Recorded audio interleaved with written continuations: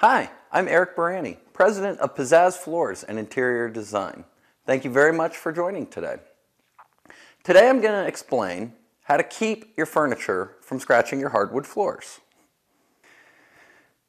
If you're in a situation where you're moving into a house or just rearranging a room and you have hardwood floors, then you're going to need to think about how to protect those hardwood floors from the furniture and how to prevent the furniture from scratching the hardwood floors.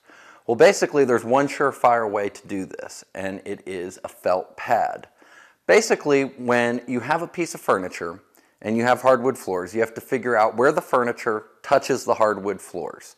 That point is going to be what you want to protect. And the size of that point is going to determine the size of the felt pad that you choose. Basically, felt pads come in a couple of different sizes. You've got rectangular ones, you've got circular ones, you've got different shapes and different sizes of all. So depending on how many points of contact the furniture has with the hardwood floor will depend on how many different felt pads you'll need and it will depend on what shape each felt pad will be. Well, each felt pad is going to come with its own adhesive and it's on the back of the felt pad. There's a white sticker. You want to pull the white sticker off and that will unveil the adhesive on the back of it.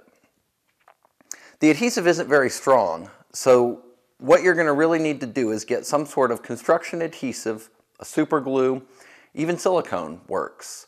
Uh, but basically you want to have a glue and add just a little dollop to the back side and then take the felt pad and stick it to the furniture. You're going to want to let it dry for a couple of hours and then you are ready to turn the furniture upright and then uh, it will not scratch your hardwood floors. Now you can invite all your family and friends over to enjoy your wonderful new furniture without any fear of scratching your hardwood floors. Thank you very much for watching and I have just showed you how to keep your furniture from scratching your hardwood floors.